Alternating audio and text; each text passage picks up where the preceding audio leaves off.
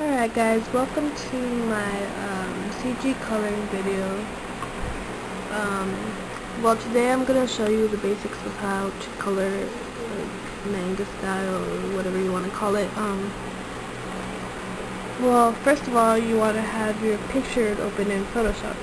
So you do that by going to File.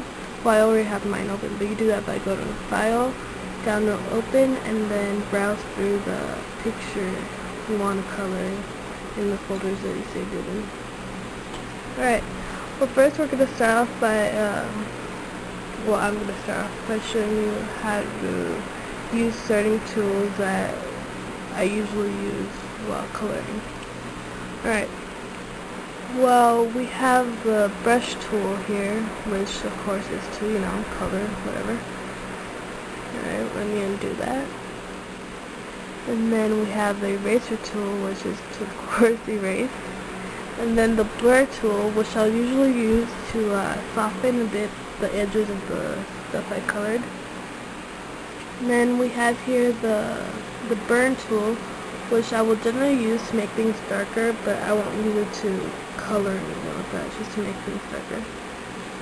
Some people like to just use it instead of the brush tool to make shadows and stuff, but I don't, I don't know, I don't feel comfortable doing that. I think it makes the picture look trashy and not really that great. Right, well first, or I mean, the other tool that I use is the dodge tool, which you can usually get to that by um, holding your left uh, mouse button on it and then just moving your mouse over and clicking on it. And I use this to lighten um, colors or to make highlights or anything like that. Alright, well, oh yes, and for those of you using mouse, I would suggest using the, let's see here, the polygonal lasso tool. But since I use a tablet, I'll just, uh, I'll just color with a paintbrush. Alright, I don't know if that makes sense or not, but usually if you have a mouse, you like using the polygonal lasso tool to uh, select things, and then use the the paint bucket to color it.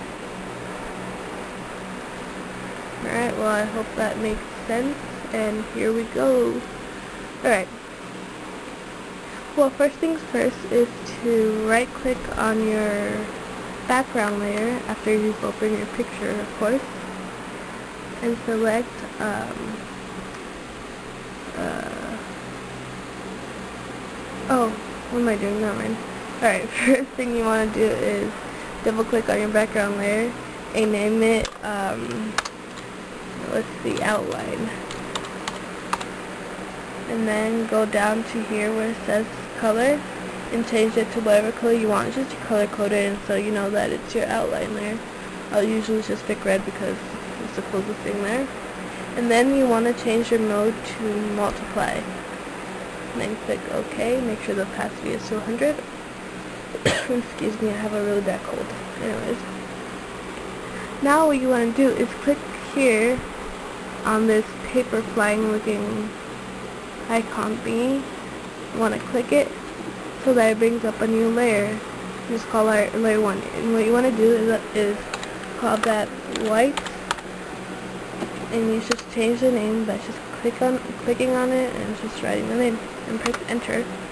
And then you want to go here and click on the paint bucket tool and if you want to change your color, which we are, we want to paint over the picture with white, you want to click on this square and then move the toggle around to the white or any color that you might need later on.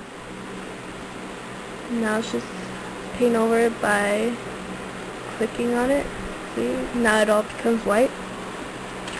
Now what you want to do is uh, right click on the outline layer and uh, click on duplicate layer and you can color the outline copy if you want. You can change it if you like, but I'm just going to leave it like that. Press OK. And then what you want to do is move this up on top of the white. So there it shows.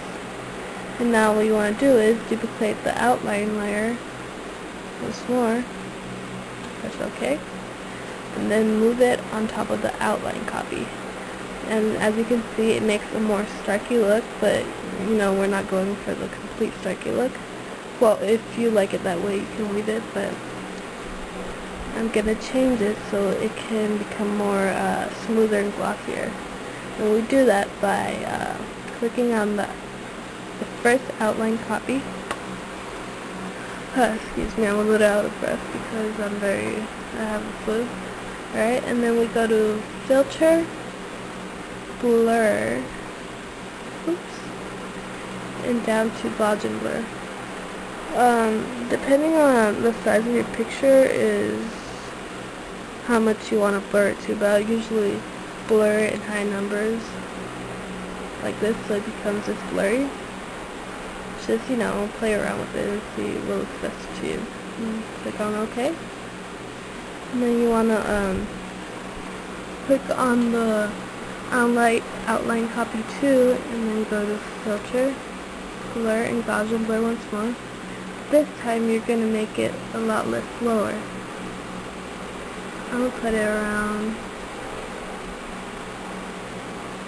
hmm, 0.4 pixels. Alright?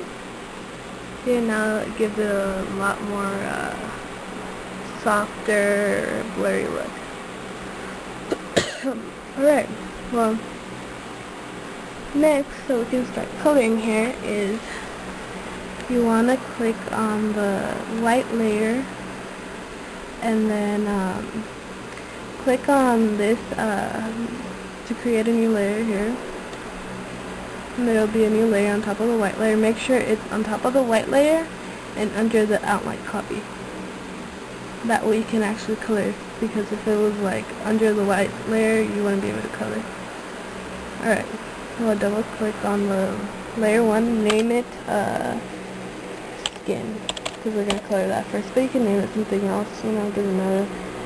Name it uh, Do for all you, for all I care. I don't know. Skin. Press enter, I mean. Alright, make sure that uh, your skin is on normal, and also make sure that your outline copy is on multiply. Alright? Alright. So you want to zoom in. Woo, okay. And then you're going to come over here, or you're going to click on the paintbrush tool. And uh, let's say pick a hard, I guess a hard brush. The hardness all the way to 100. Just make the size big enough so that when you uh, put your palette, palette next to your let's see to the to the to the drawing you you can choose it easily. I don't know if that makes sense or not but whatever. Nothing makes sense. At 5:09 a.m. alright well click on the um, the color picker here and then select the color the skin you want. For um, my character's color I'll usually give her a more pale look. Let's see This good.